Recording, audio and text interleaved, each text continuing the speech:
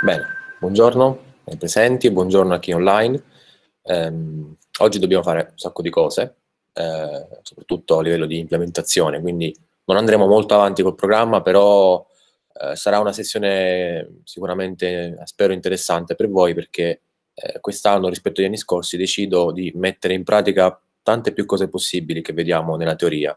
Infatti ieri abbiamo visto uh, la tecnica di programmazione dinamica e in particolare un algoritmo di Levenstein per eh, trovare la distanza tra stringhe, ovvero quello che consente a Word, a Google e al vostro smartphone di suggerirvi le parole che voi digitate e noi tutti digitiamo in maniera errata. E quindi dobbiamo implementare un algoritmo e l'algoritmo ce l'abbiamo davanti, quindi cioè, sembra che non ci sia nessuna difficoltà. Beh, intanto lasciatemi dire dove eravamo rimasti con Notepad.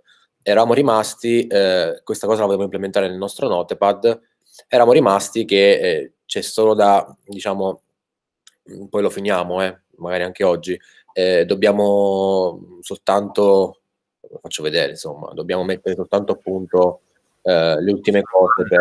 Può condividere lo schermo? Ha ragione. Grazie. Mi sono dimenticato di condividere lo schermo.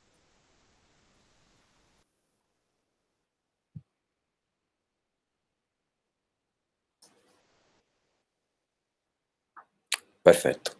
Dicevo, ehm, il nostro Notepad in questo momento eh, funziona abbastanza bene, ehm, dobbiamo solamente stare attenti che quando cambiamo, eh, quando eh, per esempio adesso io eh, ho scritto del testo in un nuovo documento, si è attivata l'icona del salvataggio, ma se vado in un documento che già è allineato col disco dovrebbe disattivarsi quest'icona, così come anche queste due icone, se non c'è nessun undo da fare, deve essere disattivato. Sono delle, delle cose piccole, però rendono comunque professionale poi l'applicazione. Quello che invece oggi vogliamo fare, ah vabbè vi chiedete com'è possibile che appare questa cosa, l'altra volta non appariva, sono cose che stanno in Qt da, da un certo punto nel documento ci scritto, eh, dove ci ho scritto? A parte che ci ho messo un font di default simile a quello di Notepad, Notepad più più che utilizzo io, però in che parte c'è set placeholder text è un metodo della classe qtextedit, quindi non l'ho scritto io. Eh, il, il, il, placeholder text è un testo che non fa parte del documento, ma serve solamente eh, per dire all'utente, guarda, inserisci il tuo testo qui, appena inserisce scompare, quindi non è un testo del documento, è soltanto un, un'indicazione, un suggerimento. Quello che però noi oggi vogliamo fare eh, è implementare un suggeritore. Ora, il suggeritore eh, funziona con il tasto destro, tipicamente in Word io premo, eh, innanzitutto c'è una sottolineatura delle parole, questo lo potremmo fare ma ci prenderebbe tantissimo tempo, quindi lo ignoriamo, magari per esercizio, se uno è appassionato di Notepad lo può fare, con gli strumenti di Qt si può fare anche questa cosa qui. Ehm, quello che noi vogliamo fare è cliccare con il destro su una parola e nel nostro menu, che fino all'altra volta era un menu con le opzioni predefinite, undo, redo, taglia, copia, incolla, eccetera, ci dovrebbero essere anche dei suggerimenti. Suggerimenti che però sono le parole più vicine nel dizionario rispetto a quella parola. Ehm, ovviamente in questo momento non sta funzionando perché dobbiamo implementarlo, tra l'altro questo è un documento di lingua inglese, però quello che dovrebbe succedere è che eh, mi suggerisci le parole giuste, dovrebbe succedere che se io clicco su suggerisci, lui mi dovrebbe dare eh, su questa parola che ho scritto male, mi dovrebbe dire suggerisci la parola eh, più vicina nel dizionario. Dizionario delle forme flesse, quindi ci sono anche le coniugazioni del verbo suggerire. Eh, così come qui dovrebbe dirmi parole, anche se parle, parle potrebbe essere anche, sinon- potrebbe anche essere vicino alla parola parla, eh, quindi qua ci sono due parole vicine a parle, cioè parole, parla, parli, parlo, eh, non parle, parle non è nessuna nessun coniugazione che conosco, eh, però questo è quello che dobbiamo fare oggi. Ora, come ho implementato questo menu? Perché l'ho fatto io e non l'ho fatto in classe? Perché per fare questa cosa ci vuole un'ora, ci vuole un'ora per documentarsi su come bisogna andare nelle documentazioni, nella documentazione di Qt e studiarsi, studiarsi, andare a cercare le funzioni giuste. Per fare questa cosa ci ho messo un'ora. Noi saremmo stati oggi un'ora solo per creare questo menu, ma non è quello l'interesse di oggi, ok? Quindi poi ve lo spiego anche come ho fatto, però concentriamoci, vorrei fin da subito nel, ehm, implementare questo suggeritore. Ora, il suggeritore sta nella classe corrector.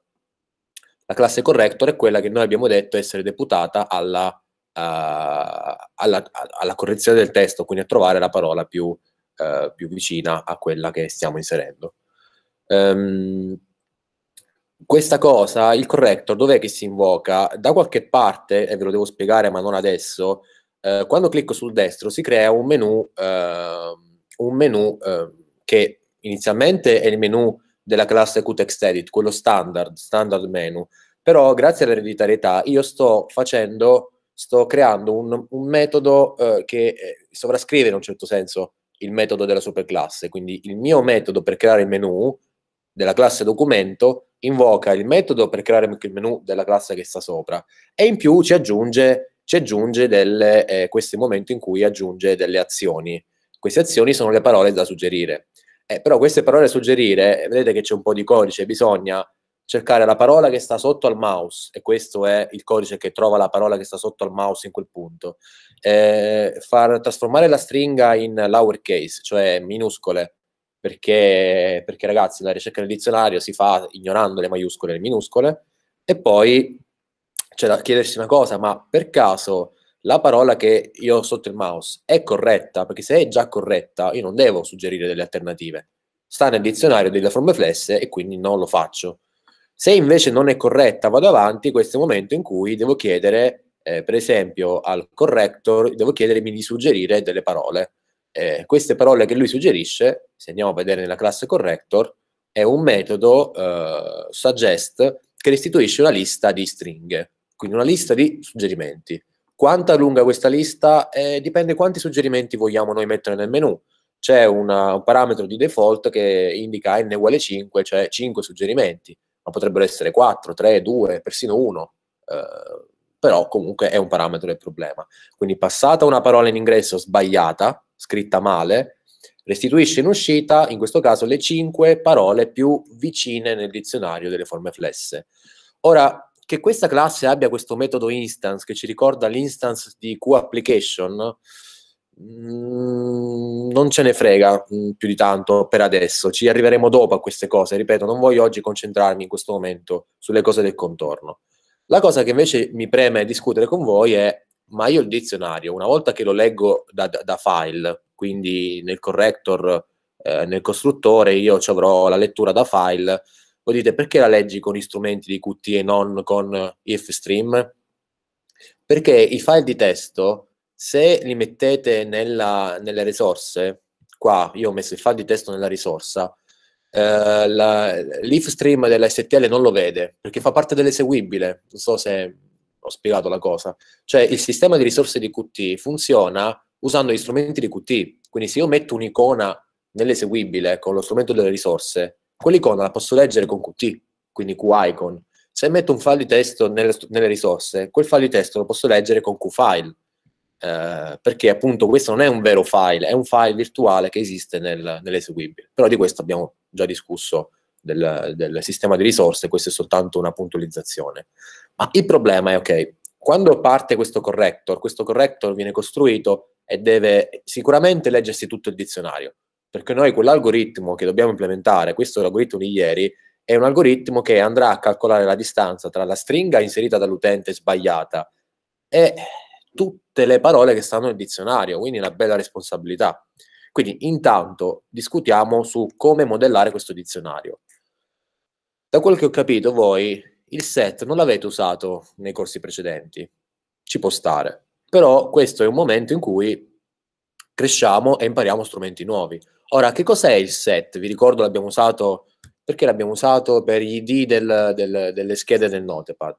Il set è un contenitore ordinato che sfrutta gli alberi di ricerca che noi faremo, li faremo fra tre settimane, quattro settimane, forse di meno, eh, che sono molto efficienti per trovare un elemento eh, in un insieme. Quindi risponde rapido. Quindi dizionario, io devo trovare una parola in maniera rapida e quindi il set risponde a questa caratteristica. Se fosse stato un vector, eh, come avremmo fatto la ricerca? Dovevamo implementare noi la ricerca ordinata binaria. E vabbè, non mi va, su pigro, c'è, la, c'è il set, tra l'altro gli alberi binari sono un po' più efficienti della ricerca nel vettore e quindi eh, usiamo il set. Però in realtà questa non è una decisione su cui io sono irremovibile, anzi mh, mm, c'è una cosa su cui vorrei eh, stuzzicare la vostra attenzione. Eh, questo algoritmo avrà la sua complessità che è, è quella che è, non ci possiamo fare nulla. Però se noi invochiamo l'algoritmo di, di distanza tra stringhe, tra la stringa inserita dall'utente, per esempio, eh, dove sta quella che ho inserito prima? Um, mi suggerisci, mi suggerisci le parole giuste? Ora, dobbiamo farci furbi, che significa, se noi andiamo a cercare, a, fa- a calcolare la distanza tra questa parola e tutte quelle del dizionario, nel dizionario ce ne sono, ne ho aggiunte due stamattina, ho aggiunto precipitevolissimamente che non c'era, gravissimo errore, perché esiste come parola, ovviamente questa non esiste, supercalifragilistichespiralidoso, che tra l'altro anche in inglese è proprio così, proprio uguale, identica. Eh, sono queste 279.433 parole. Ora, calcolare la distanza tra stringhe, tra la parola che scrivo io e 279.433 parole, è un lavorone. Capite che la complessità è O di M per N, però in più ci dovete mettere per il numero di parole, quindi sarà O di M per N per eh, cardinalità del dizionario. È un bel lavoro, ok? Quindi può succedere che se faccio così, eh, facendo clic destro, cosa succederà? Clic destro, aspetto 10 secondi, poi appare il menu non è quello che l'utente vuole. Ovviamente non è quello che succede con Word, non è quello che succede con lo smartphone né con Google. La risposta deve essere istantanea. Quindi se deve essere istantanea, eh, questo è il corso adatto in cui noi ci preoccupiamo anche dell'efficienza degli algoritmi, non solo della correttezza, dobbiamo cervellarci. Quindi vi chiedo quale possibile strategia possiamo utilizzare per evitare di confrontare la parola scritta con tutte quelle del dizionario, per calcolarne la distanza. Vi viene in mente un trucco che possiamo usare? Bravissimo. Perché quello che ha detto il, suo, il vostro collega è valido? Perché dobbiamo fare un'ipotesi di lavoro. Se io sto scrivendo una parola e sbaglio, tipicamente gli errori non stanno nella prima lettera. Perché non stanno nella prima lettera? Proviamo. Proviamo a scrivere una frase molto veloce. Provo a scrivere una frase molto velocemente cosa sta succedendo? Il nostro cervello, quando scrive qualcosa molto velocemente, eh, quando cerchiamo di scrivere sullo smartphone e anche sbagliamo, tipicamente la prima lettera la azzecchiamo. E se non la azzecchiamo, cosa facciamo? Se io avessi scritto, anziché di velocemente, avessi premuto la B, mentre sto guardando, mi viene di andare subito indietro, perché sto iniziando a scrivere, quindi tanto vale andare indietro e correggere. Anche nello smartphone è così, se voi toppate la prima lettera, certo, gli strumenti di correzione dello smartphone sono un po' più sono dinamici, mentre scrivete, vi corregge, vi suggerisce, sono un po' più complessi. Però tipicamente se uno toppa la prima, non va proprio avanti, va indietro e eh, la prima la, uh, la corregge. Quindi noi potremmo fare una ipotesi, che la prima lettera è corretta. Se così fosse, allora noi non confrontiamo tutte le parole del dizionario, ma solo quelle che iniziano con la stessa lettera. È già un bel... Uh, non è proprio diviso 26 parole, non è proprio la complessità diviso 26, però comunque è, abbiamo più che dimezzato la, la, il tempo di attesa. Quindi se prima erano 10 secondi, adesso saranno 2 secondi. Sto sparando, io non so davvero quello che succederà oggi, eh, quindi potrebbe andare bene, potrebbe andare male. Quindi eh, ci sono alcune considerazioni da fare. Um, se io devo confrontarlo soltanto con alcune parole, non con tutte, eh, Potrebbe essere il caso, però non è detto che lo sia. Eh, c'è un detto nell'ingegneria del software che l'ottimizzazione prematura è sempre sbagliata, cioè tu prima prova senza ottimizzare, poi se necessario ottimizzi, perché la, l'ottimizzazione richiede complessità. Quello di cui sto parlando, ragazzi, è di fare una mappa di set, lo so che la cosa vi sconvolge un pochettino, una mappa di set, cioè una std map di set, che mette in corrispondenza cosa?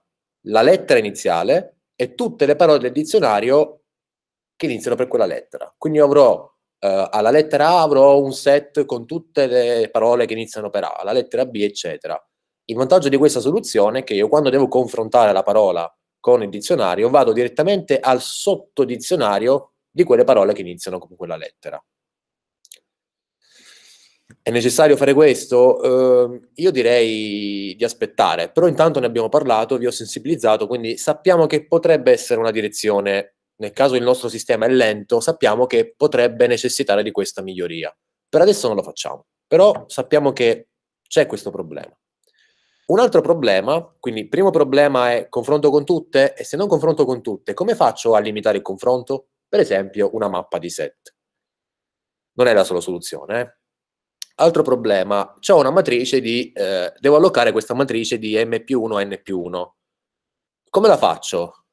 Quindi faccio un'allocazione dinamica, quindi faccio un new uh, int, perché sono distanze, new int di, eh, praticamente devo fare un'allocazione di una matrice, quindi un array bidimensionale, di m più 1, n più 1, quindi calcolando la lunghezza delle stringhe che mi sono state date, e questo lo posso fare.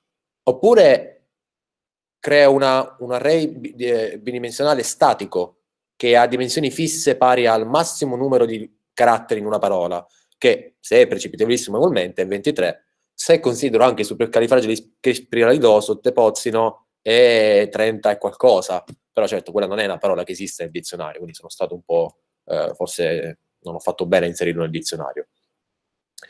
Eh, e soprattutto questa, questa matrice statica dove la metto? La metto nel metodo che calcola la distanza? Perché se la metto nel metodo, il metodo è una funzione. Quella funzione, quando si chiama, la matrice statica viene allocata sullo stack. Quindi ogni volta che la chiamo, per tutte le 279.000 chiamate, eh, alloca sta matriciona sullo stack. È un'allocazione anche quella, eh. non è dinamica, ma comunque è un'allocazione. Allora forse bisogna metterla in un punto che quello è e rimane quello. Per esempio l'area statica l'area dati statici della, del processo è fissa, non c'è una allocazione di allocazione, sta lì e nessuno la tocca. Però anche qui il discorso è lo stesso. Sappiamo che c'è questo problema. È necessario cervellarci? Non lo sappiamo finché non proviamo. Quindi io direi, proviamo con la cosa più ignorante di tutte, che non si pone questi problemi che vi ho appena discusso. Io non lo so come andrà a finire potrebbe impiegare 20 secondi, potrebbe impiegare 50 secondi, oppure potrebbe essere anche rapida e quindi a quel punto noi non ottimizziamo, perché impariamo la lezione, è una lezione anche questa, quella di oggi, non ottimizzare se non è necessario. È una lezione importante che nei vostri progetti a volte voi vi ponete il problema di ottimizzare, ma nemmeno ci provate a non ottimizzare. E quindi magari vi state scervellando per una cosa che non serve. Quindi implementiamo questo algoritmo nella maniera più ignorante di tutte, sapendo che ci sono dei punti che potremmo, potremmo migliorare all'occorrenza. Questa è un'immagine, quindi non posso copiarmi questo pseudocodice, sarebbe stato comodo perché comunque è facile trasformarlo in C++, questo pseudocodice. Vabbè, quindi eh, devo creare una funzione distanza tra stringhe. Quindi la distanza è un intero, eh, la chiamo distance, eh, tra stringhe, quindi stringa x e stringa y.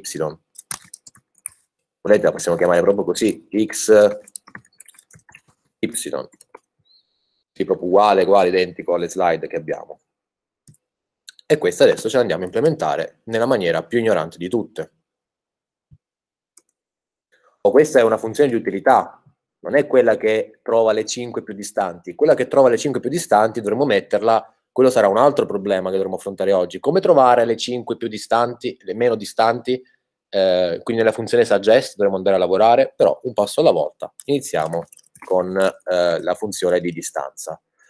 Eh, la prima cosa da, da, fare è allocare questa matrice di m più 1 per n più 1 interi. Quindi m è la uh, lunghezza di x, eh, n è la lunghezza di y. Quindi int d, int star star d, è un, è un array dinamico bidimensionale, avete mai fatti? Eh, è il momento di, di, di ri, riprenderli. Devo prima allocare le righe di puntatori e poi per ogni riga allocare eh, tutti eh, gli elementi di quella riga, eh, quindi devo fare anche un ciclo. Quindi new int star, quindi alloco una riga di puntatori a, ad array monodimensionali, che è grande, quanto è grande? È grande eh, che abbiamo detto m righe, m righe, m più 1 righe, x size, esiste size, certo, più 1. Poi, per ciascuna di queste righe, quindi per ciascuna di x size più 1, devo allocare anche eh, la riga iesima, quindi ho allocato una, un array verticale di, righe, di puntatori che poi saranno i puntatori alle righe orizzontali della matrice. Quindi dd uguale new int di y size più 1. E, da che mi trovo dovrei inizializzare perché le distanze, eh, vabbè l'inizializzazione la facciamo, la facciamo dopo, facciamo separatamente. Quindi questa è l'allocazione. Allocation of distance matrix. Questa è la allocazione. E anche questa è una cosa delicata, perché così come la sto facendo, questo chiederà al sistema operativo ogni volta che calcola la distanza di 270.000 parole, per favore mi allochi una, un array di x size più 1 e poi per ciascuno di questi mi allochi un array di y size più 1, il sistema operativo farà un, un po' di lavoro per soddisfare questa richiesta, però per adesso ignoriamo questa, eh, questa inefficienza. Sì, ho sbagliato qualcosa. Eh, no, perché questo è stiamo allocando una questo è un array monodimensionale, come se fosse array a star array int star a uguale new int. Questo è un array di questo è un array di puntatori, questo è proprio un array di interi. Questo è un array di interi e quanti ce ne sono di array di interi? Uno per ciascuna riga, quindi ogni riga è un array di interi di tipo dinamico, quindi star capisco che lo so, gli array bidimensionali con i puntatori sono un po', un po cattivelli, però comunque mh, una conoscenza che abbiamo dei corsi precedenti e adesso l'abbiamo recuperata. Eh, dobbiamo inizializzarla, initialization, initialization, iniziali, vabbè. Ah, anche lui c'ha il, il suggeritore che non mi sembra che abbia funzionato bene, initialization che c'è nel dizionario, non ha funzionato bene. Vedete, non è banale. Implementare i suggeritori, anche quelli professionali, non è detto che funzionino bene. Questo è il suggeritore di Visual Studio, l'ha fatto Microsoft, eppure non è che è tanto carino, non ha funzionato bene in questo caso. Um, ok, come la inizializziamo sta matriciona? Eh, sta scritto qua, eh, nella prima for i uguale 0 to m, quindi praticamente la prima, eh, la prima uh, riga i sono le righe, quindi la prima colonna, eh, infatti j uguale 0, la prima colonna sono tutti i, la prima riga sono tutti j. E gli altri sono tutti zeri. Mm, dobbiamo inizializzare anche gli altri? Mm, no, perché in realtà gli altri verranno praticamente assegnati eh, in base a quello che c'è prima, quindi possiamo anche non inizializzare il resto della matrice. Quindi la prima riga eh, for int i, eh, la prima riga, i uguale 0, ah, la prima, la prima colonna, scusate, ok. I minore di m è sto caspita di m, mm, che dite, lo, ce, lo, ce lo salviamo qua, così, così non, non, non, non, ci, non ci confondiamo, m più 1 quindi M è questo, usiamo la stessa nomenclatura della slide, ci può essere di supporto. Ok, quindi eh, beh, dobbiamo fare un array, eh, sono M più 1, quindi dobbiamo inizializzarli tutti quanti, quindi intanto ci mettiamo M più 1, qua ci mettiamo n più 1 e qua ci mettiamo m più 1. Quindi tutta la prima colonna, quindi d, d, i, j, 0, j, tutta la prima colonna è uguale a i. Questo ci dice il nostro algoritmo, che significa, se vi ricordate che data una stringa piena, eh, non data stringa vuota, basta fare eh, i inserimenti e poi eh, specularmente, quindi possiamo copiarci questo e sostituire in maniera molto attenta le cose. Un errore qui, ragazzi, farà sì che vi suggerisce le cose più strane, quindi bisogna stare comunque molto attenti in quello che facciamo. E questo invece è 0J, quindi la prima riga eh, sono tutti J. E poi, e poi c'è il resto, c'è la programmazione dinamica, quindi eh, partendo, partendo da, dalla seconda riga, fuori uguale 1, i minore di m più 1, i più più, for int j uguale 1, j minore di m più 1, più, dobbiamo, dobbiamo confrontare l'ultimo carattere eh, delle due stringhe fino a x e fino a j y. Quindi if uè, serve la parentesi, non è detto.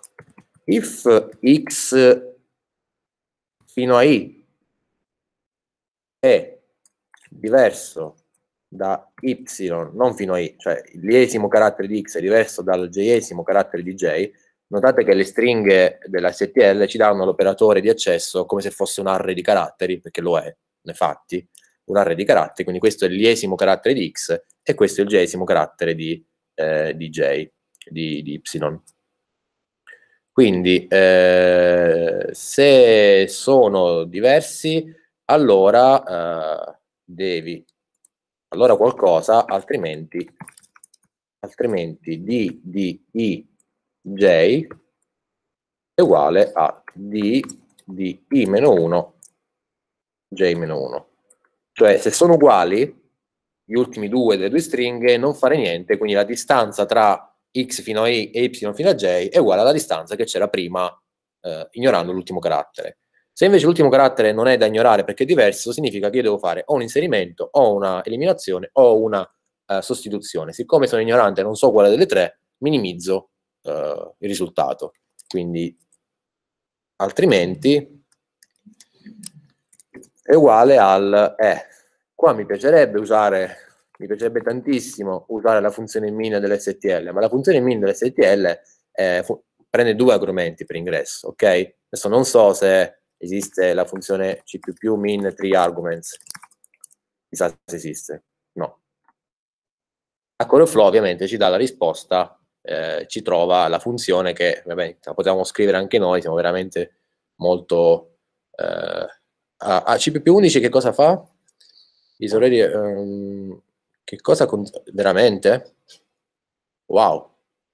Aspetta, fammi vedere bene che sta di. Eh, C++11 noi lo usiamo. You can do questo, veramente. Or std min si può fare si può fare il minimo di una sequenza. Minimal type t. Veramente.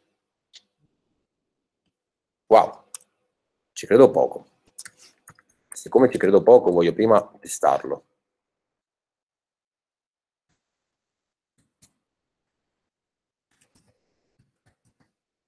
Devo testare il compilatore, non sto testando, cioè so che funziona, il problema è non so se il mio compilatore, che è un po' vecchiotto, supporta questa funzionalità.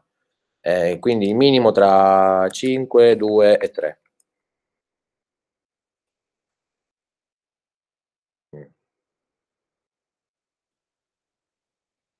Mi sa di no. Che dice qua?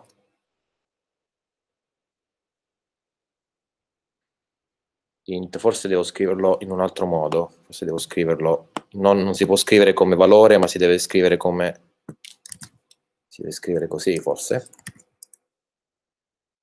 int 5, 2, Eh, vabbè, io ci ho provato, evidentemente il mio compilatore non supporta questa nuova funzionalità, eh, del, perché il C++11 non è, che, cioè, non è che uno dice supporta C++11 in toto, i compilatori fun- supportano alcune delle funzionalità dei nuovi standard. Prof, ma non dobbiamo inserire la libreria, cioè per utilizzare la funzione min? Eh, ma è, la, è, proprio la, la, la, ST, è proprio la, la, la, la libreria standard, quindi ho capito quello che dice eh, ma è proprio, cioè non è manco io stream, questo è proprio standard standard. non è, non è C standard library, questa è quella vecchia, questa è la libreria del C. Eh, a parte che lui dice, il fatto che lui dice che eh, non è che dice non la trova, dice che non trova una che supporta, cioè se io ci faccio go to declaration, lui me lo trova, quindi ce l'ha lui questa, lo trova? Vedi, ce l'ha, ce l'ha, è come se ce l'ha. Eh, questo è proprio standard, non bisogna includere proprio niente. Oh ragazzi, io già ho provato. Ah, dobbiamo scrivere noi, eh, pazienza. Ci scriviamo una funzione di utilità che eh, fa il minimo tra tre interi. Quindi dove ce lo scriviamo? Scriviamo per esempio qui. Eh, inline è, quando noi mettiamo inline accanto a una funzione, quella funzione significa che verrà, è come se verrà compilata dentro la funzione che la chiama. Quindi non c'è la cosa dello stack, fa risparmiare tempo. Ecco perché la sto dichiarando inline. Quindi inline eh, int min eh, int a, b, anzi li passiamo per riferimento così eh, evitiamo, però per riferimento comunque si crea un indirizzo, vabbè, non è qui davvero questo che fa la differenza. Quindi mh, mm, penso che basti fare return, forse bastava effettivamente io prendo il più piccolo tra A e B e poi ne faccio il minimo con C, non ho detto un'eresia, questo è il minimo tra 3, o no? Eh, prendo il più piccolo tra A e B e poi prendo il più piccolo tra questi due e questo, questo è il minimo. Quindi a me suona, che dite? Sembra di sì. Ripeto, ogni errore qui non funzionerà un bel niente, quindi non è qua l'std ma il min della nostra classe, quindi è infatti il min di corrector quello che vede, dobbiamo fare 1 più min tra d di meno 1 j, quello che sta a sinistra, quello che sta in alto a sinistra, quello che sta, quello che sta sotto, d meno 1 è quello che sta sopra, d i j meno 1 è quello che sta a sinistra e quello che sta in alto a sinistra è i meno 1, j meno 1 eh, quindi vabbè, facciamo identico roba alle slide ma è uguale, cambia solo l'ordine, quindi di J-1. Poi di I, ehm, I-1 J e poi di I-1 J-1. Ok? Sì. Il risultato sarà la distanza che si trova in, alla fine, quindi d di m ed n derivano da 0 a m. E questo è Distance Algorithm Dynamic Programming. Come facciamo a provarlo? Io direi, prima ancora di andarlo a mettere dentro il suggeritore, calcoliamo la distanza che noi sappiamo essere, che so, due tra una parola data e un'altra. Eh, meglio che ci proviamo, che non sia mai che abbiamo fatto qualche errore. Quindi, quindi, quindi, quindi, quindi eh, questa, questa mh, funzione la facciamo uh, statica perché non usa nessuno dei, dei, non usa nessuno dei, degli attributi dell'oggetto e potendola fare statica possiamo quindi nel main andare ad utilizzarla. Tra l'altro il main eh, include il corrector. Quindi in main, prima ancora di, di fare tutto quello che deve fare, dobbiamo fare adesso un piccolo test. Quindi corrector, mi dici la distanza tra... Mi dici la distanza... Vabbè, la distanza la stampo qui. Dici la distanza tra due string, che ne so, tra suggerisci, suggerisci, e suggerisci. Siete d'accordo che la distanza è 2? Perché dovrebbe aggiungere una E qui e poi una I alla fine. Dovrebbe essere 2 la distanza. Vediamo.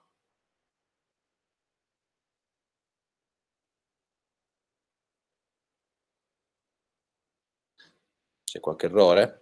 Vabbè, ho fatto qualche errore di sintassi. Eh, corrector mini legal call of non static member function eh, sì, beh, eh, devo chiamarlo... Sì. Ah, ok, no, scusate. Ehm, sì, una funzione statica può chiamare solo un'altra funzione statica ed effettivamente anche questo min eh, è una funzione che non usa le variabili dell'oggetto, è una funzione di utilità, deve essere statica anch'essa. Ah, si è arrabbiato, vediamo dove si è arrabbiato. Che not open? Vabbè, perché è aperto. Vabbè, pensavo peggio. Sì, ok. Zero. Qualcosa non è andato, ok? Non può essere zero la distanza tra, tra, tra questi. Vedete come è importante testare? Questo si chiama unit testing, non è proprio è un inizio di unit testing, che è una tecnica di test molto importante, cioè testare le cose più piccole sfruttando tutte le ipotesi del problema. Quindi questa funzione andrebbe testata con eh, stringhe alterate artificialmente, di cui so già la, la, la, la distanza e chiedo all'algoritmo qual è. Se tutti i test vanno bene, allora diciamo che quella funzione funziona, ma non è il nostro caso, non sta funzionando. Eh, dov'è che sbagliamo? Abbiamo fatto un errore da qualche parte. Ehm...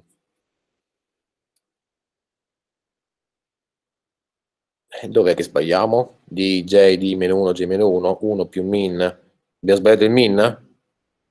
Abbiamo, veramente abbiamo sbagliato il min? Tra A, B e C, il minimo è il minimo tra il più piccolo tra e B e poi tra C. Non vedo perché dovrebbe essere sbagliato questo. Eh, vabbè, proprio per essere dai, proprio sicuri, eh, corrector min tra 5, 2, 3.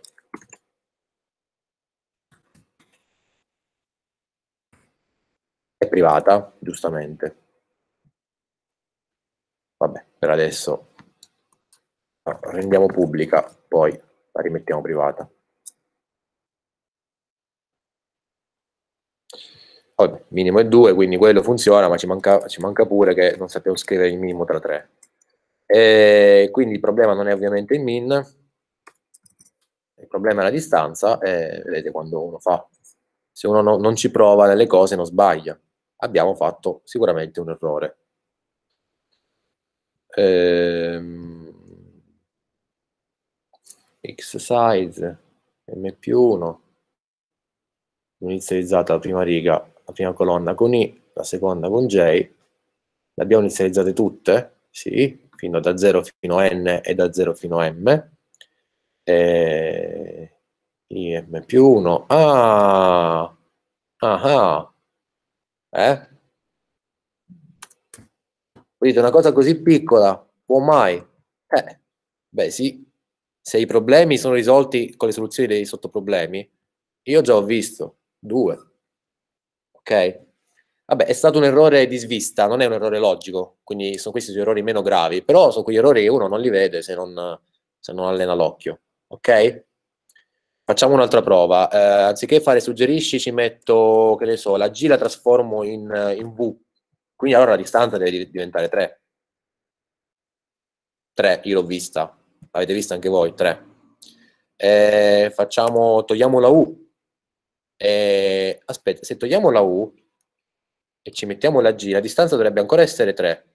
Su G, no, no, aspetta, su, su, no, dovrebbe essere, qual è la distanza? Devo mettere la U qua, la V la devo trasformare in E e questo in I, quindi deve essere ancora 3 la distanza, perché c'è la sostituzione, può trasformarla, uè, 3. Oh ragazzi, questo non pretende di essere un test esaustivo, eh, gli unit testing si fanno in tutt'altro modo, però noi questo ci possiamo permettere oggi. Quindi per noi questa è corretta. Quanto tempo ci ha messo non la possiamo misurare ragazzi, perché è la distanza tra due stringhe.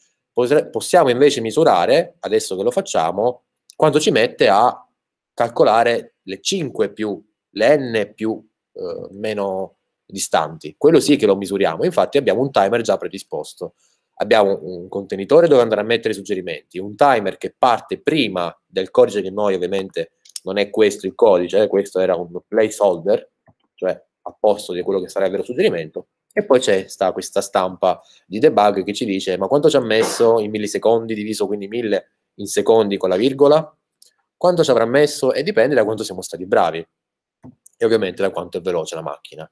E ora tocca a noi. Quindi dobbiamo calcolare, innanzitutto dobbiamo calcolare la distanza tra eh, la parola word e tutte quelle che ci sono nel dizionario. Abbiamo detto facciamo ignoranti, non ci mettiamo a dire la prima lettera è uguale, ignoranti.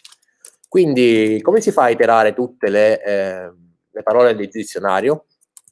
Non so se avete mai usato una cosa di questo tipo. Dictionary. Avete mai usato l'auto? Questo si chiama for generalizzato, eh, è disponibile dal CPP11 in poi e ci consente di evitare di scrivere quella cosa bruttissima che sarebbe, l'alternativa sarebbe for std set int iterator i uguale dictionary punto begin.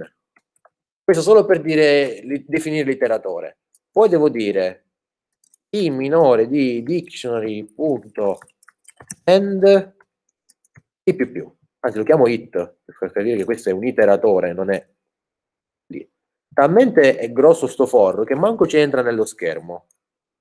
O perché mi ha dato errore non lo so. Che cosa vuoi? Dictionary. Beh non si chiama dictionary. Come l'ho chiamato?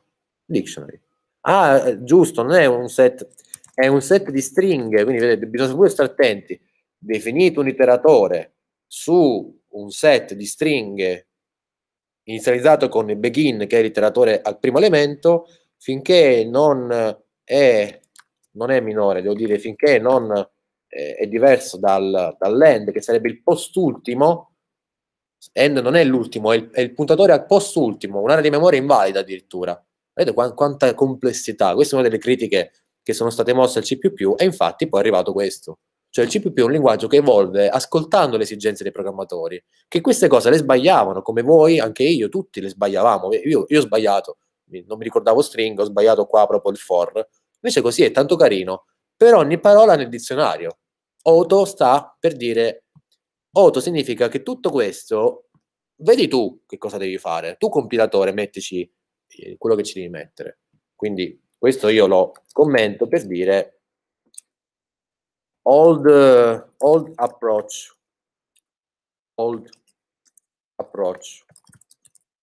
To iterate over STL container. Il vecchio approccio per iterare iterare eh, lungo un contenitore dell'STL questo è il nuovo approccio. Eh, la end sta per eh, un riferimento a se non c'è la end significa che io copio il valore della parola e non mi piace l'idea di copiare una stringa, tutto il dizionario copio le stringhe, no, quindi riferimento, ok? Quindi V sarà proprio la stringa non copiata che sta nel dizionario. Quindi posso chiamare la distanza, la distanza tra, eh, tra V e Word, e, ok, ma dove la metto? Devo calcolare le n più piccole. È questo un corso anche di tecniche di programmazione, di algoritmi, dobbiamo noi adesso inventarci un algoritmo per calcolare eh, l'n. Facciamo una cosa più semplice. Supponiamo n uguale 1 inizialmente, ok? Quindi calcoliamo la più piccola e poi vediamo come imbastire di calcolare le n più piccole, perché sono due problemi diversi. Il problema, questo problema della più piccola si chiama minimo, il secondo problema si chiama n minimo, cioè i n più piccoli, che non è proprio banalissimo. Eh. Vedremo, dovremmo creare una lista circolare, non, non, è proprio una cosa banale, però per adesso dobbiamo testare il funzionamento del nostro algoritmo, quindi eh, per adesso supponiamo n uguale 1.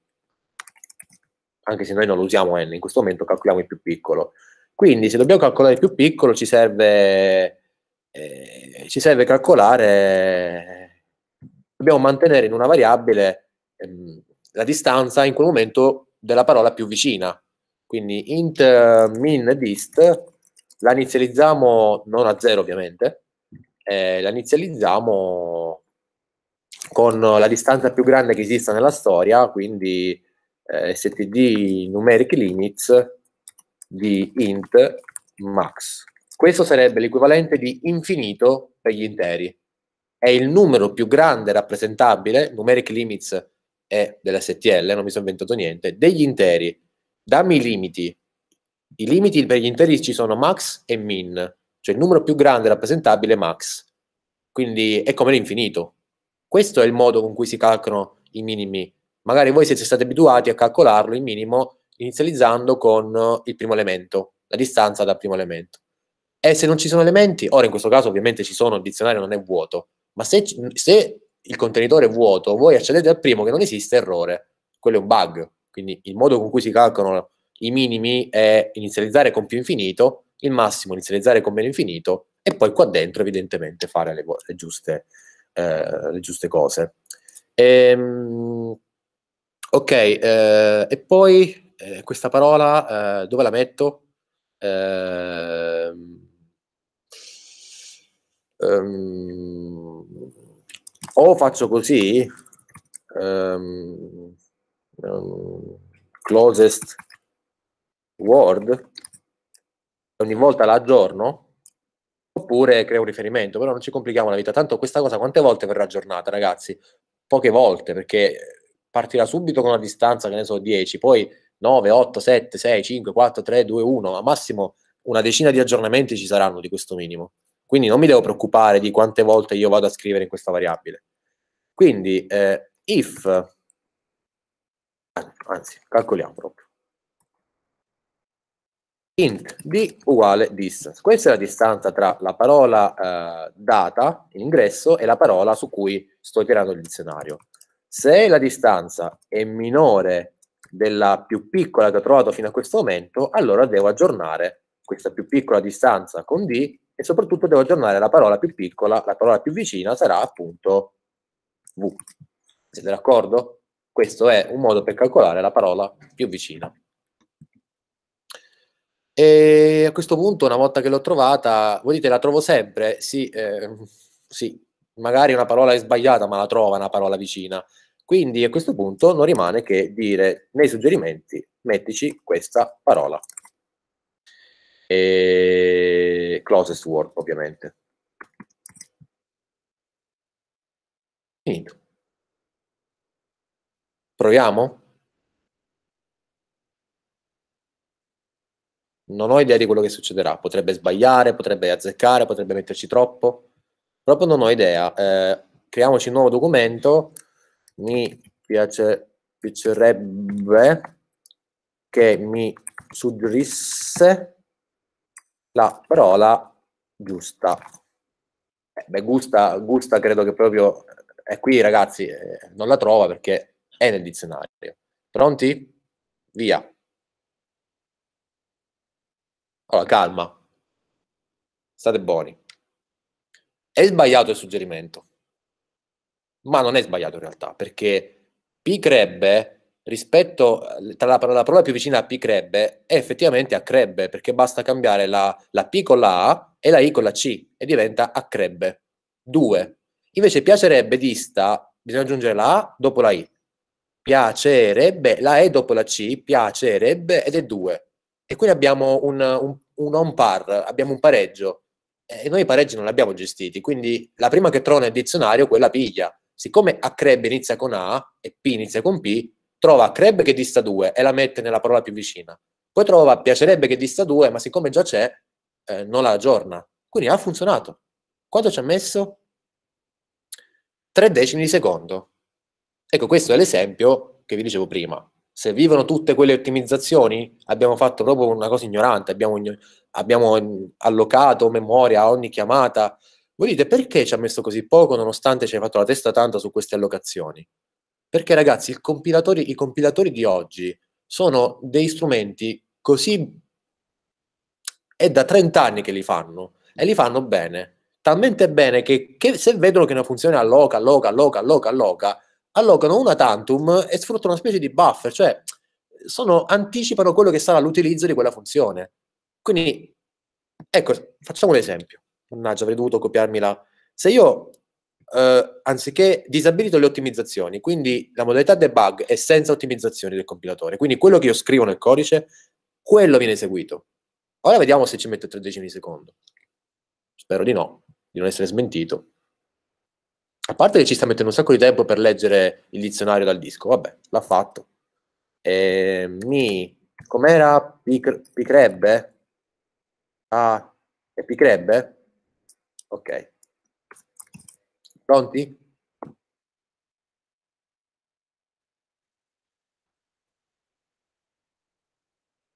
Quanto ci ha messo? 5 secondi, non 3 decimi di secondo.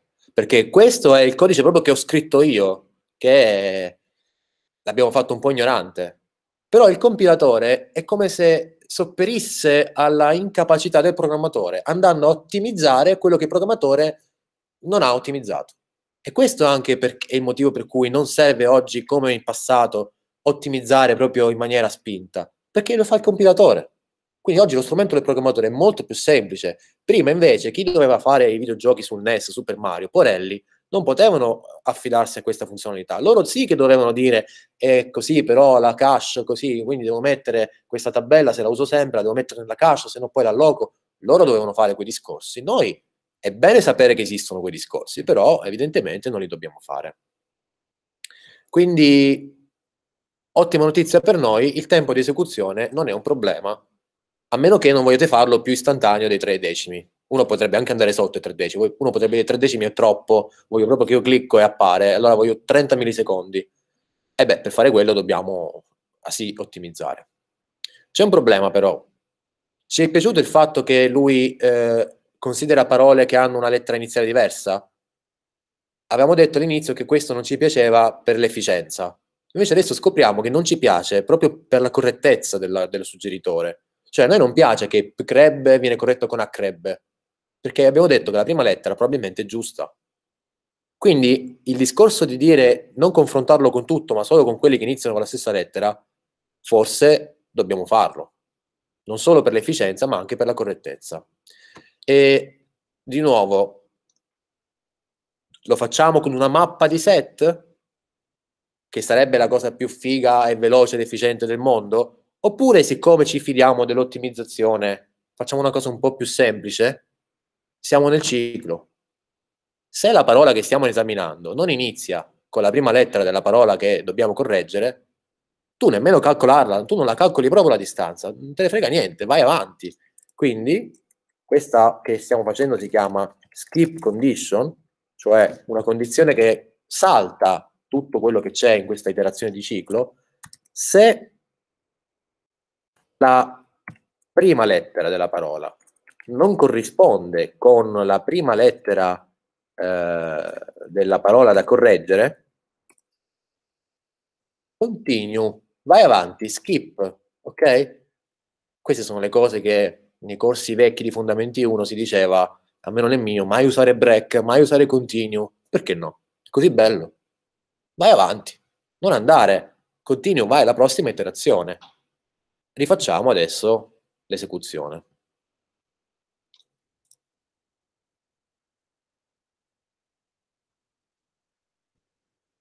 Eh, sì, nuovo documento. Mi picherebbe, e picherebbe, io ho sempre dubbi, essere, essere suggerito quando sbaglio. Uno, due, tre, pronti, via. Parrebbe, perché? Parrebbe, ha ragione, dista 2, mentre piacerebbe dista, uh, dista 2 anche questa volta. E questo si riallaccia al discorso del vostro collega, che diceva forse dovremmo confrontare non solo il primo carattere, ma anche i primi due, sempre per ipotesi che anche il secondo carattere eh, possiamo ipotizzare che sia corretto. Quanto ci ha messo? Ragazzi, vi giuro che non l'ho provato a casa. Io prima ho sparato, passiamo da 300 millisecondi a 30, millise- a 30 millisecondi, ci ha messo 30 millisecondi, perché anziché confrontarlo con tutto il dizionario, l'ha confrontato soltanto con uh, le parole che iniziano con quella lettera. Eh, funziona? A meno questo funziona, per favore? S, gli bozzino. Suggerito. Suggerito, ah, finalmente. Una volta ha funzionato. Quando? Quando sbaglio, sbaglio. Quindi funzionicchia.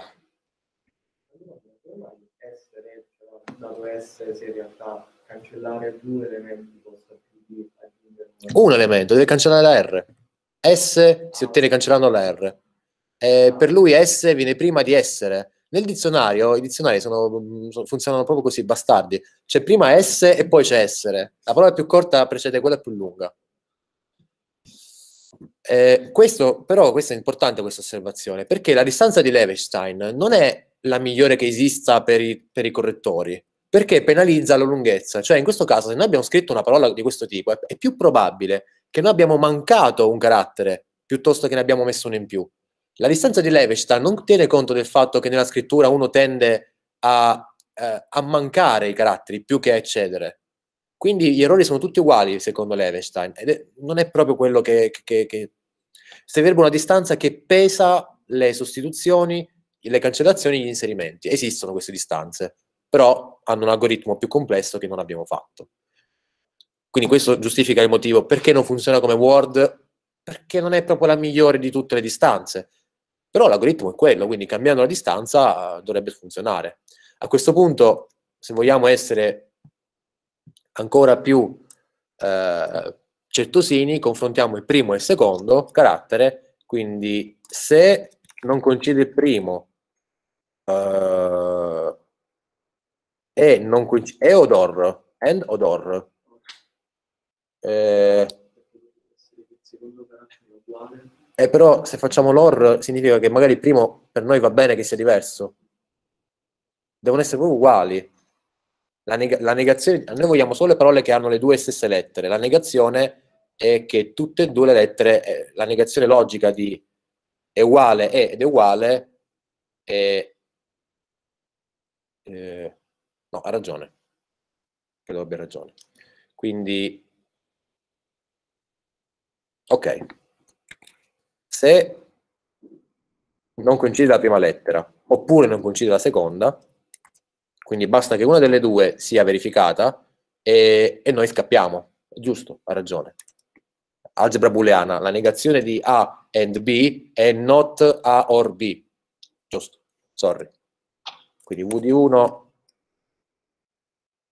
di 1 diverso da Word di 1. Beh, adesso piacerebbe, mi piacerebbe che eh, lo suggerisse bene. Mi mi piacerebbe essere suggerito bene stavolta. Stavolta. Suggerito. S ce lo teniamo. E piacere, finalmente. Eh? Non male. Ragazzi, io direi una cosa.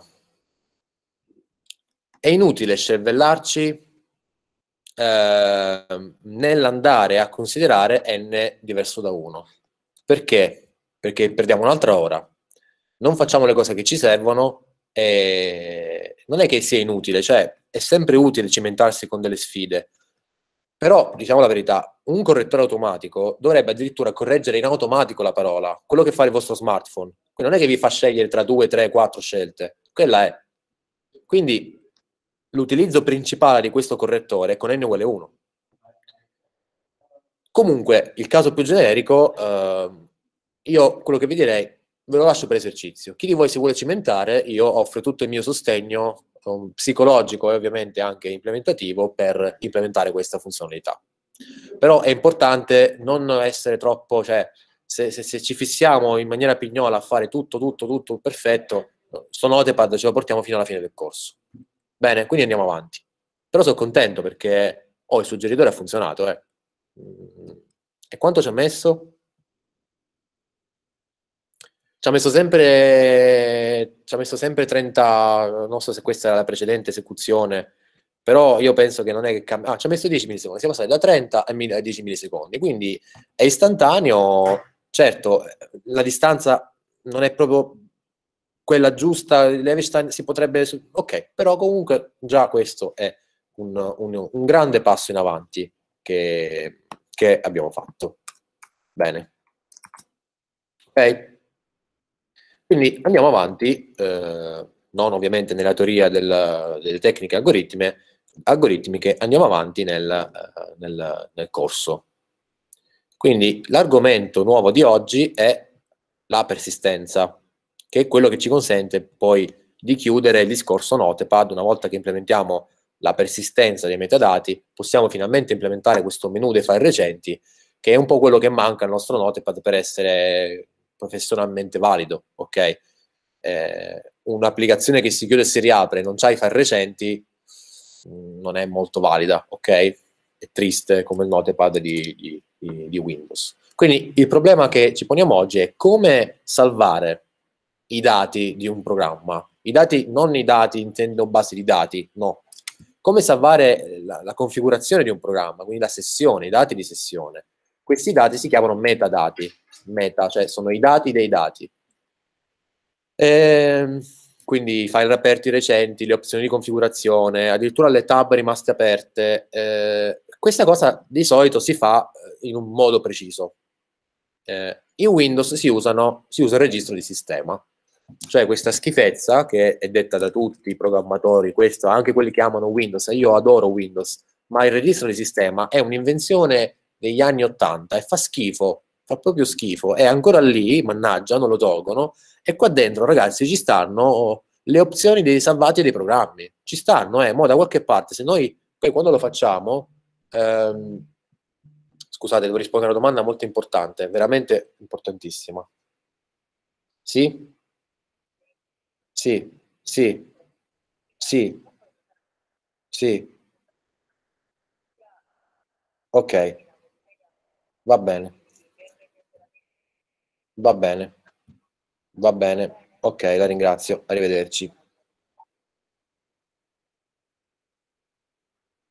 Poi spiego, eh.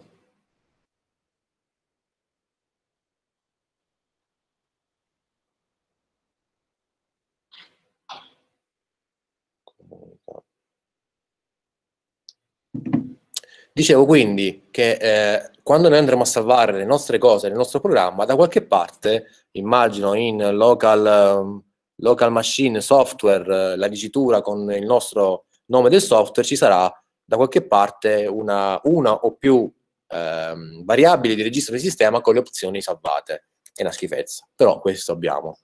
Oppure, sempre in Windows c'è un'altra alternativa che tra l'altro è usata anche da altri sistemi, eh, i file.ini. Eh, I file.ini Windows li mette nella cartella application data, una cartella nascosta che potete vedere, eh, stanno anche in, uh, in, sistemi Unix, tipicamente o nella home dell'utente o nella cartella di sistema eh, etc. Ehm, quindi se volete fare uno scherzo molto brutto a un vostro amico, gli cancellate tutta la cartella application data e sto amico praticamente ogni applicazione che aprirà non avrà memoria del passato, quindi tutte le configurazioni che aveva salvato non verranno eh, salvate. Quindi non vale per i browser, eh, perché i browser eh, mettono tutto su cloud. Ecco, questa è una cosa che sta cambiando. Mano a mano i programmi spostano su cloud le proprie configurazioni. Quindi se voi avete i vostri preferiti su Google Chrome, questi non stanno in un filini del, del, del sistema, o meglio, magari ci stanno pure, però non è l'unico posto. Stanno su cloud, quindi voi vi connettete al vostro utente e magicamente questi preferiti appaiono eh, dinamicamente nel vostro browser. Ok, ma dobbiamo noi scrivere i filini o i file accedere al registro? No. Qt mette a disposizione una classe che si chiama QSettings che consente di, in maniera platform independent, cioè siamo su Linux, siamo su macOS, siamo su Windows, dobbiamo usare i file di registro, su Windows un'applicazione deve proprio, ci sono le funzioni per scrivere sul, file di, sul registro di sistema, no, non dobbiamo farlo, perché lo fa per noi Qt. Come lo fa Qt? Beh, innanzitutto bisogna creare una configurazione, quella tra l'altro che appare nel registro di sistema. Quindi dobbiamo dire qual è il nome della nostra applicazione e qual è il nome della nostra compagnia, software, organizzazione. Sono importanti questi nomi perché è un identificatore della vostra applicazione nel sistema. Se voi questo lo cambiate, eh, il sistema non avrà memoria di quello che è il passato, perché avete cambiato il nome dell'applicazione. Quindi è importante nel codice usare sempre lo stesso nome dell'applicazione e organizzazione. Quindi settings è un punto di accesso per leggere e salvare dati, in sostanza. Per leggere si usa il get, getter, quindi non è get ma è value, dammi il valore, poi vediamo cosa. Per salvare set. In realtà per salvare proprio c'è il metodo save, per leggere c'è proprio il metodo read, però facendo set e get lui in automatico Qt capisce se c'è da leggere o da scrivere le cose sul, uh, sul disco, perché sul disco queste cose vengono scritte. Quindi come facciamo a leggere un attributo di tipo int? Beh, dobbiamo prima chiederci se c'è. Quindi, caro settings, tu per caso contieni un attributo che si chiama nome attributo? Ora, che cos'è questa una sezione? Innanzitutto diciamo che è opzionale, cioè noi in maniera opzionale possiamo eh, usare una sorta di namespace, quindi una scatola dei nomi, cioè questo è un attributo dentro una sezione che si chiama così, ma siamo noi che decidiamo queste cose, quando è che le decidiamo? In fase di salvataggio. In fase di salvataggio diciamo che salviamo un attributo con un certo nome dentro un certo percorso virtuale, è tutto virtuale. Eh? Quindi per salvare set, per leggere prima ci chiediamo se c'è e poi chiediamo value. Ora, siccome value è legge di tutto, eh, il tutto significa che leggerà in un oggetto che contiene tanti tipi diversi, si chiama qvariant. Qvariant è una specie di metavariabile, cioè potrebbe essere un intero, potrebbe essere un booleano, potrebbe essere una stringa, potrebbe essere un double, eccetera. Quindi dobbiamo convertire per poi avere il nostro attributo. Finito. L'unica piccola complicazione che però a quanto pare ragazzi su questo un po' eh, non capiscono e noi oggi lo facciamo, quindi comunque noi ci cimentiamo con questo nella pratica, come facciamo invece a creare array di eh, dati? Quindi questo per salvare un singolo attributo, per leggere un singolo attributo. Se invece dobbiamo salvare un array, un array di roba, per esempio i file recenti, è o non è un array? Certo che lo è. È un array di stringhe, di file recenti, che contengono i percorsi dei file recentemente aperti. Bene, come si fa a scrivere un array? Beh, bisogna dire eh, begin write array, end array in scrittura, begin read array, end array in lettura. Quindi la lettura e scrittura degli array è delimitata da questi due indicatori. Come facciamo a scrivere? E beh, eh, devi innanzitutto settare l'indice di quello che vuoi scrivere. E Qt vi dà la possibilità, questi sono array non di valori, ma di attributi di quel elemento in quell'array. Quindi voi quando fate set array i, dopo il set value ci potete mettere anche 10.000 set value. Saranno tutti quanti attributi di quell'iesimo elemento dell'array. Qui non è un array di interi quello che stiamo salvando, necessariamente, può anche essere un array di interi, è un array di oggetti. Quindi se qua, se qua faccio set value eh, il nome dell'attributo e qua ci metto un intero e non faccio nient'altro, allora questo sarà un array di interi ma posso andare avanti con i set value e quindi questo potrebbe essere per esempio un modo per salvare un array di persone. Ecco perché questo è un, un vettore di persone, oggetti della classe persona che ha i getter di programmazione oggetti, get nome, get cognome, get età, eccetera. In lettura la stessa cosa, bisogna fare il set dell'indice dell'elemento che stiamo andando a leggere e bisogna fare la lettura con value. Dammi il valore al campo nome, so che è una stringa, lo converto in stringa, al campo età so che è un intero e lo converto in intero. Fine. Cioè, a livello di strumento è immediato. Il problema adesso è andarlo a implementare, questo è lo scopo dei rimanenti eh, 40 minuti, quello che è. Eh, facciamolo. Dove lo facciamo questa cosa? Lo facciamo nella classe settings, che al momento è vuota. Dove sta settings? Settings, no, session, l'abbiamo chiamata session. Beh, innanzitutto il nostro pragma once ce lo mettiamo sempre, il nostro class session eh, ce lo mettiamo eh, ovviamente. È eredita da qualcuno? Dobbiamo ereditare da QSettings? No, QSettings è un oggetto che usiamo per fare questa sincronizzazione. Quindi sicuramente il nostro QSettings dobbiamo averlo noi, però non dobbiamo ereditare quindi sicuramente include QSettings, lo mettiamo come attributo della nostra classe. Ora però adesso si presenta un problema. Il problema è che chi è che ha la responsabilità? Innanzitutto, cos'è che dobbiamo sincronizzare? Dobbiamo sincronizzare i file recenti, dobbiamo sincronizzare il, um, le opzioni del menu,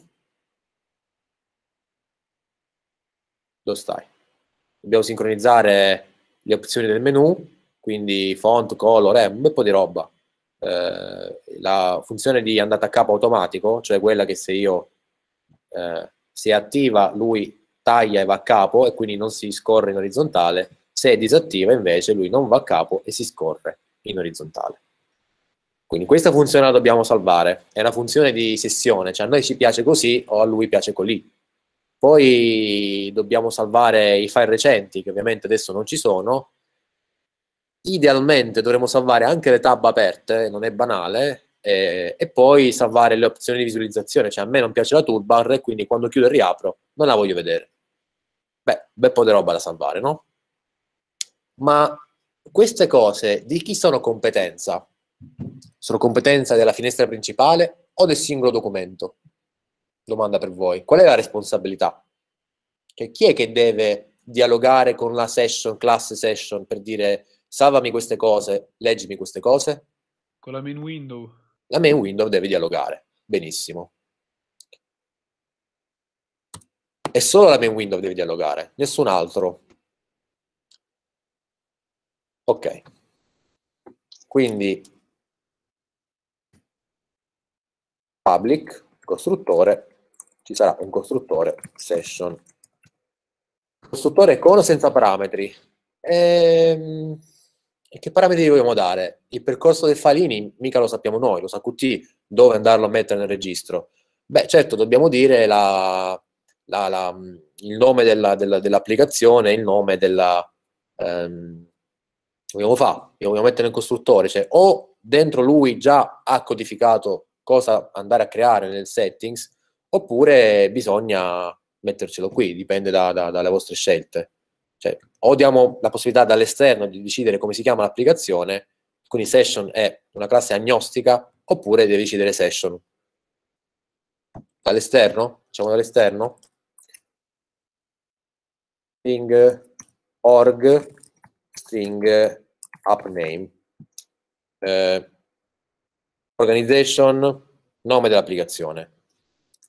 Cos'è che non gli è piaciuto? Devo includere stringhe? Sì. Devo includere stringhe.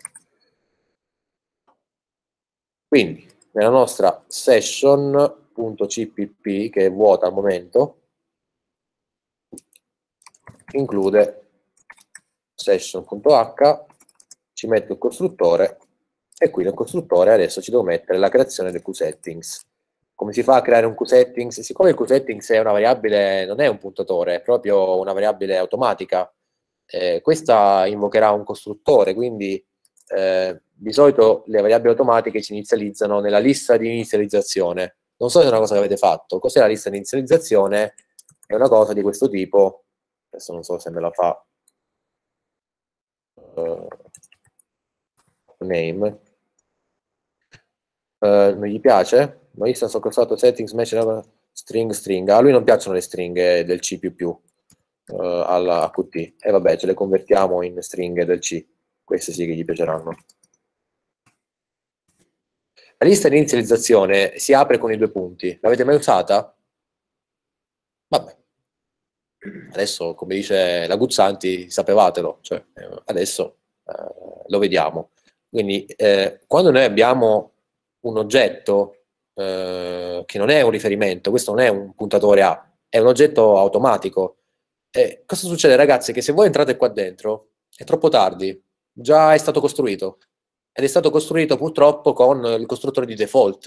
Il costruttore di default di settings è quello che non prende l'ingresso né organization né app name, anzi non so manco se c'è è disponibile un costruttore di quel tipo.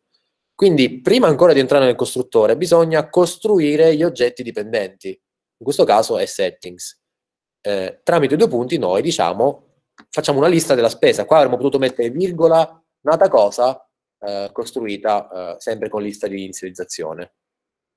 Quindi per noi settings è nella lista di inizializzazione, eh, invocherà un costruttore a due parametri che sarà quello della slide, quindi il nome dell'organizzazione e il nome dell'applicazione, dell fatto. Ora però il problema è quando noi vogliamo leggere e salvare. Dove leggiamo e dove salviamo le nostre informazioni? Se abbiamo detto che session è la classe responsabile di leggere e salvare, significa che session dovrebbe mantenere i dati di sessione. Lo dice la parola, session gestisce e mantiene i dati della sessione. Quindi noi dobbiamo mettere, dobbiamo, una possibilità è quella di inserire qui dentro tutti quei dati che noi andiamo a leggere e a scrivere. E che succederà? Succederà che quando eh, l'applicazione parte, eh, quando parte il main window, main window creerà una sessione.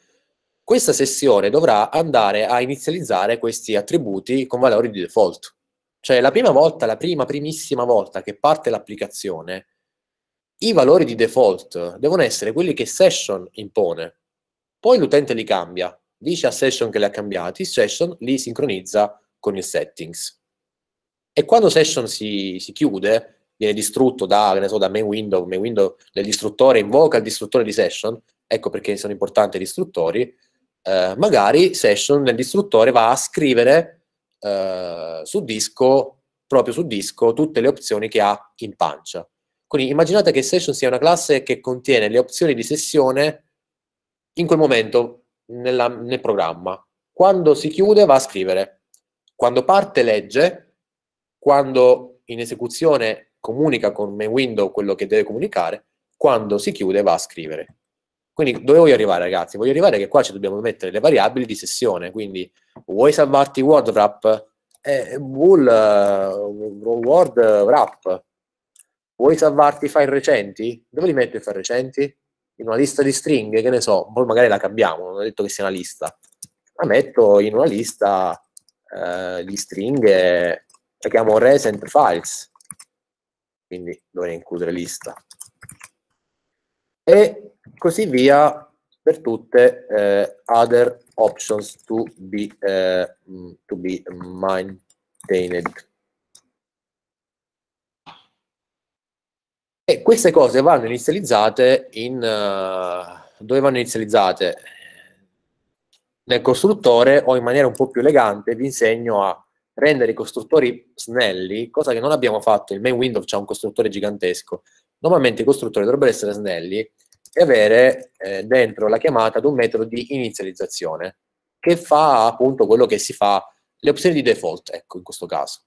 Quindi init, in questo caso dovrebbe dire eh, qual è l'opzione di default cioè la prima volta nella storia di questo computer, di questo sistema operativo, che l'applicazione parte, il nostro roadmap vogliamo che sia true o false?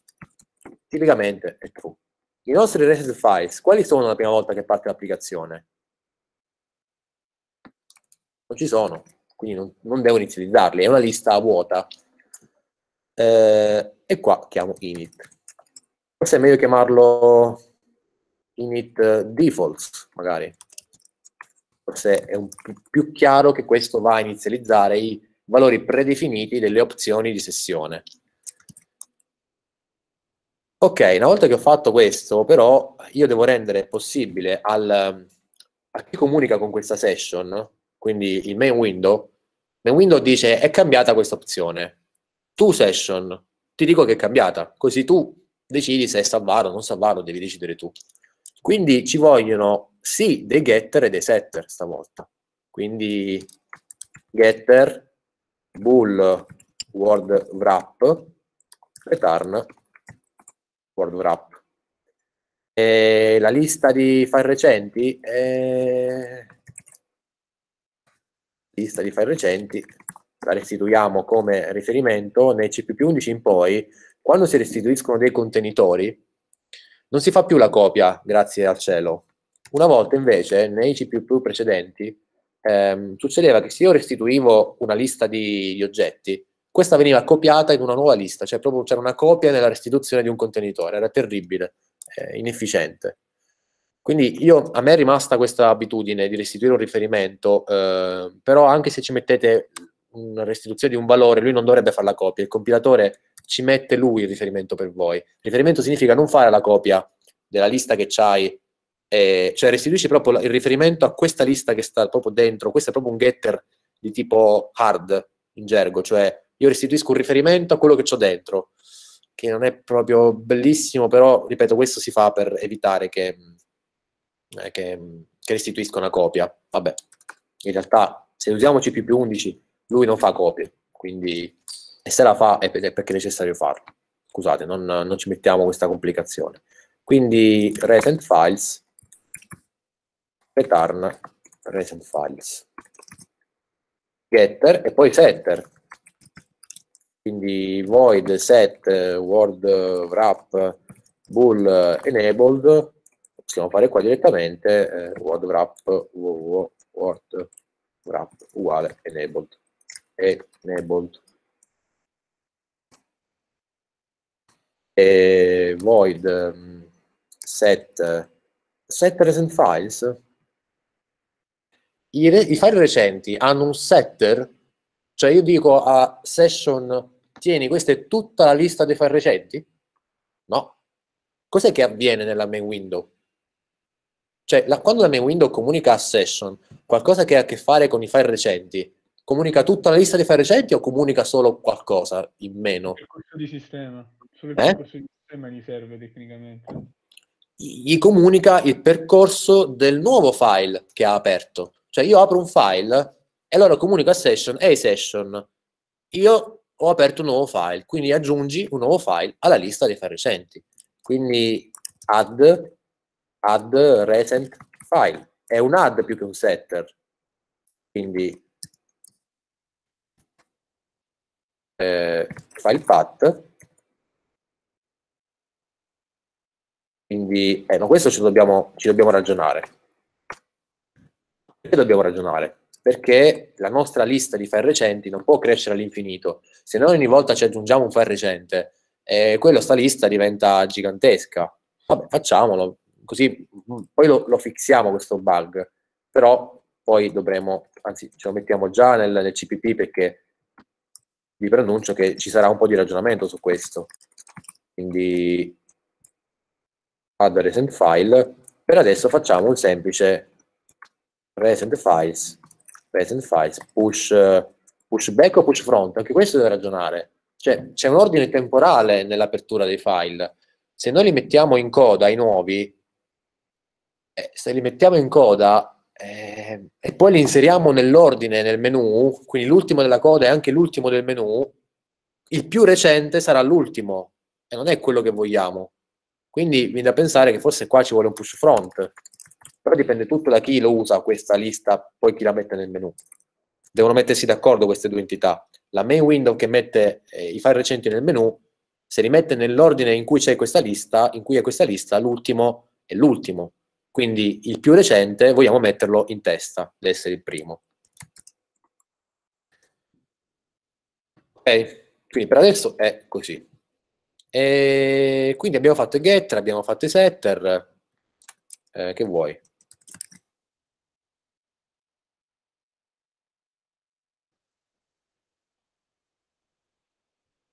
Beh.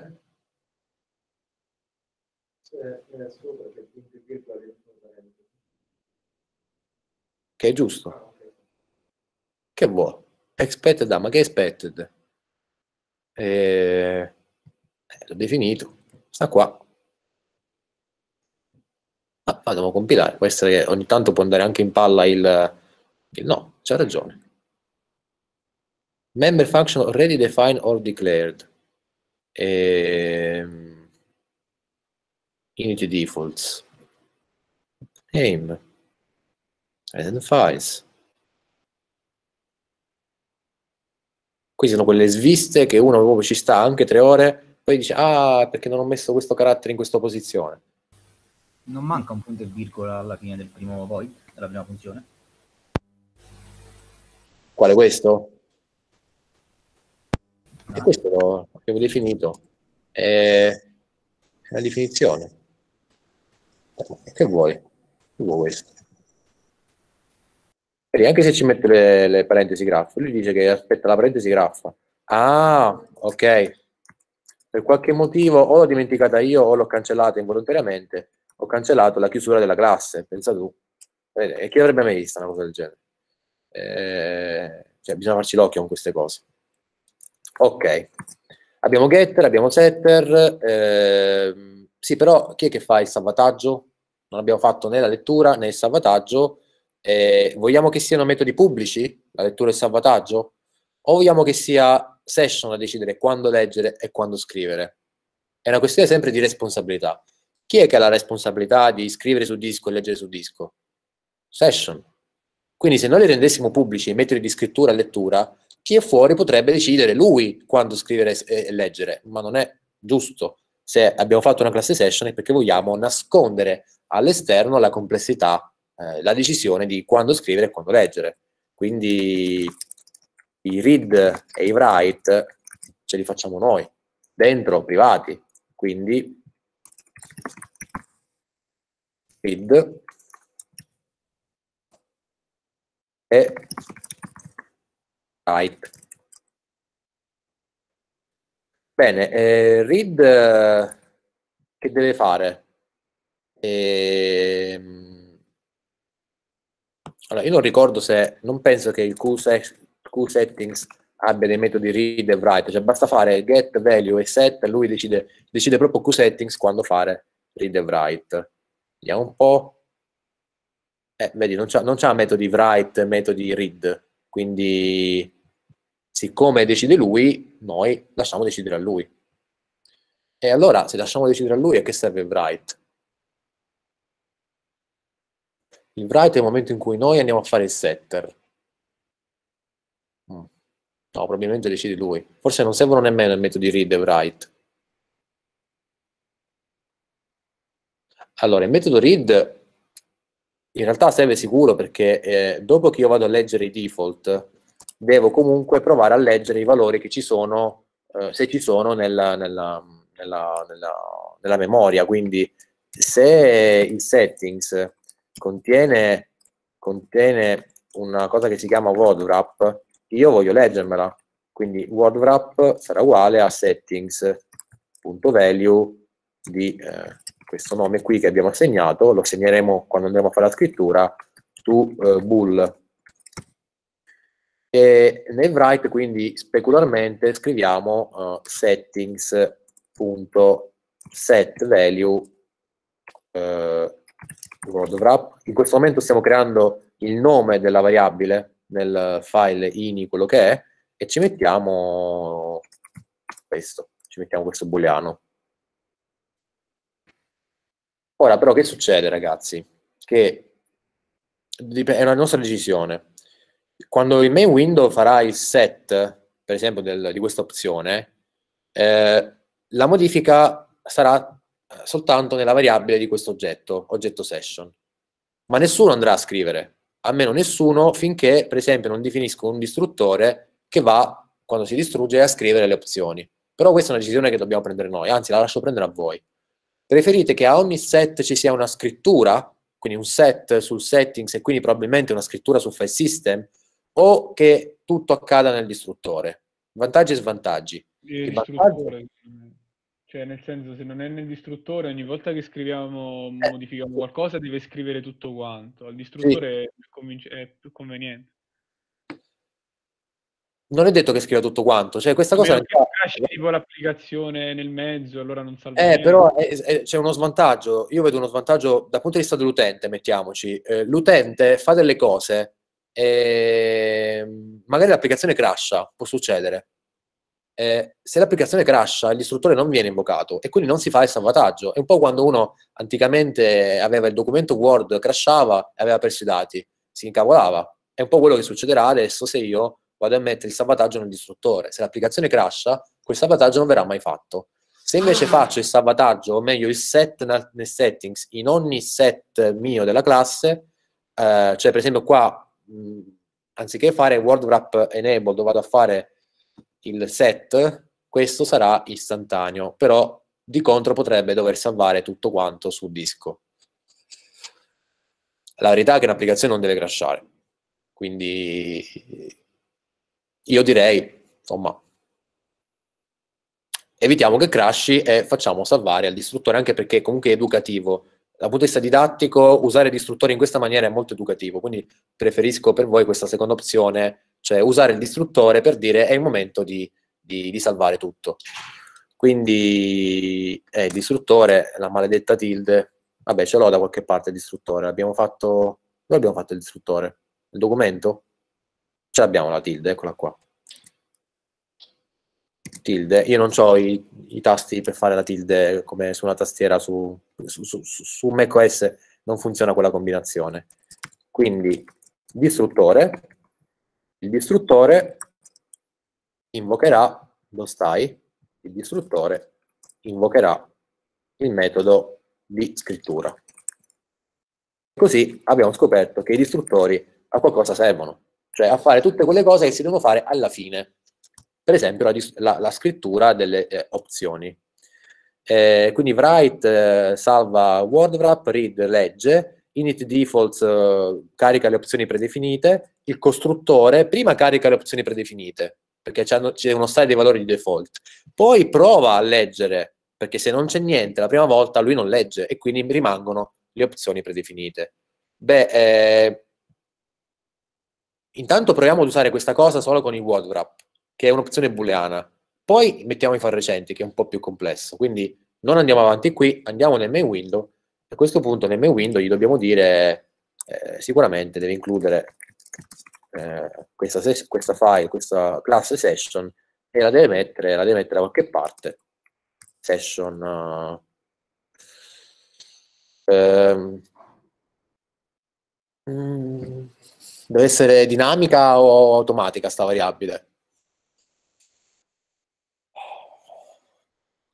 Secondo voi? Allora, uno dice automatica viene messa nello stack. E no, attenzione, perché main window è un oggetto che verrà messo nell'ip, quindi tutto ciò che c'è dentro sta nell'ip. Quindi anche se io scrivo questo, questo sta ancora nell'ip, anche se non c'è puntatore. E ha un vantaggio, che se scrivo così, io non devo definire il distruttore di main window e dentro il distruttore devo chiamare il distruttore, del, devo fare delete di session. Quindi è tutto più automatico se faccio così, ok? L'unica cosa, ricordate, devo ricordarmi la lista di inizializzazione nel costruttore di main window. Quindi se faccio così, nel costruttore di main window devo andare a creare virgola, vedete che già abbiamo usato la lista di inizializzazione, quando si usa il costruttore della superclasse, perché questo deve avvenire prima del costruttore, quindi prima costruisci la superclasse, poi inizializza session, session, dove stai? Io l'ho chiamato session, e ci metto organizzazione Unicas, si chiama Uniclam, sapete che in inglese clam è vongola, quindi noi siamo tutti quanti afferenti a univongola da un punto di vista di eh, uno, uno, straniero. Era meglio Unicas, però, polemica a parte. Uniclam, eh, beh, questa si chiama Autopad, giusto? Così l'abbiamo chiamata? Bene, quindi quando noi partiamo con l'applicazione, viene creata questa sessione. Quando viene distrutta la finestra, dovrebbe essere richiamato, eh, cioè quando viene distrutta main window, tutte le variabili automatiche dovrebbero essere distrutte, non questa, ma questa sicuramente, e quindi il loro distruttore invocato. Ehm, beh, ci converrebbe per esempio mettere una stampa, io voglio essere sicuro quindi eh, ci mettiamo una stampa per vedere se tutto quello che sappiamo dalla programmazione oggetti è valido, può essere che, che di mezzo c'è Qt, la finestra gestisce Qt, quindi noi non facciamo mai un delete main window nella, nel main, quindi nemmeno io sono sicurissimo di quello che infatti non è successo. E questo perché? Perché il nostro main ehm, se ne è un po' fregato. Perché, ragazzi? A volte è lecito, a volte no. Allora, se noi non deallochiamo qualcosa che allochiamo, eh, comunque quando termina il programma, l'area di memoria del processo viene rilasciata. Però non viene invocato il distruttore se noi non diciamo esplicitamente delete main window. Quindi, non essendo invocato il distruttore, ehm, non viene nemmeno poi distrutto esplicitamente il session. Quindi per fare una cosa un po' più anche didatticamente giusta, dovremmo dire main window in new main window quindi show. So stare questa cosa, la discuteremo la prossima volta. E poi eh, e poi eh, dove lo facciamo la delete? Eh, mi sono fregato con le mie mani. Non c'è spazio per fare questa delete.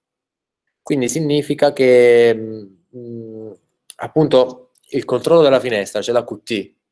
E... Definiamo il, il, distruttore di main window, vediamo se almeno il distruttore di main window eh, viene invocato. Però almeno questo venga invocato.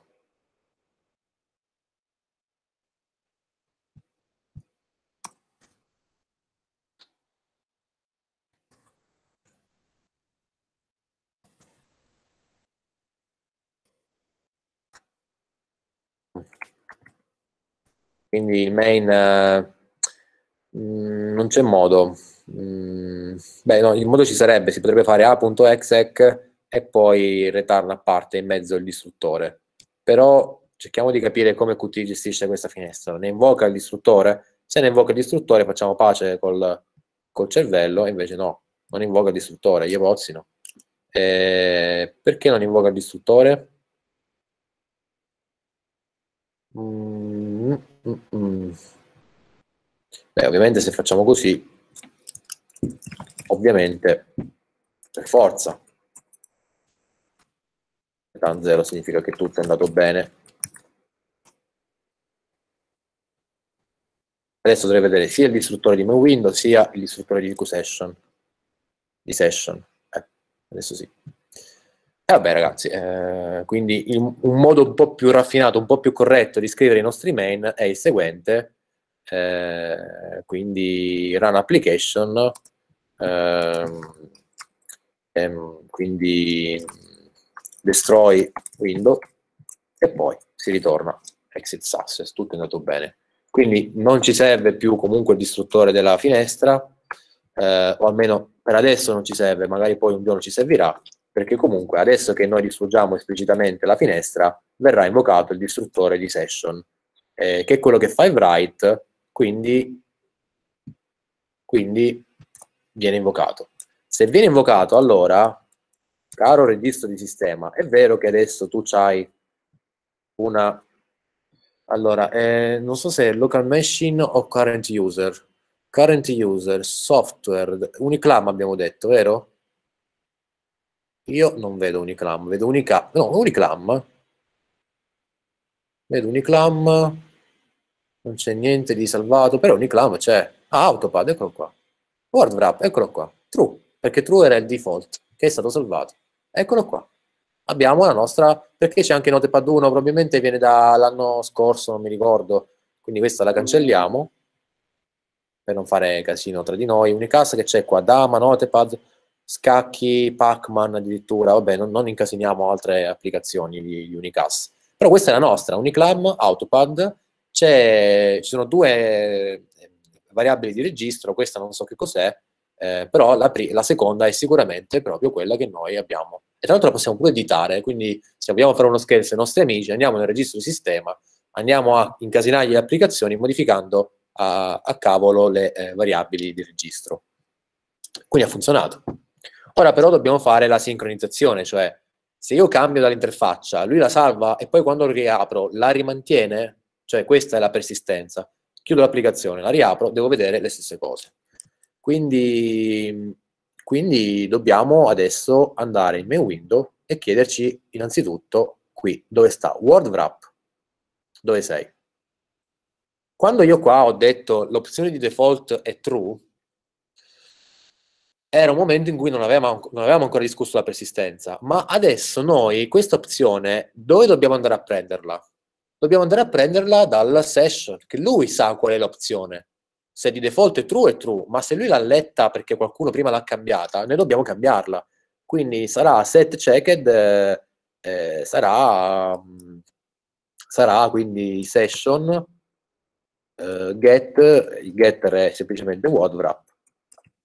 Quindi se è true, checked sarà true, se è false sarà false. Quindi in fase di inizializzazione di questa eh, casella cliccabile, io gli dico il valore è quello che mi dice il filini, il file session, tramite l'oggetto della classe session. Questo è in creazione, ma in modifica ci sarà da qualche parte un slot word wrap toogled, quando qualcuno modifica e effettivamente si va su tutti i documenti a dire eh, modificati la modalità word wrap che passi da word wrap a no wrap, cioè che non tagli il testo, Oltre a fare questo devo anche andare nel mio session, session e dire set word wrap e gli passo quello che l'utente ha fatto, se è true, se è false.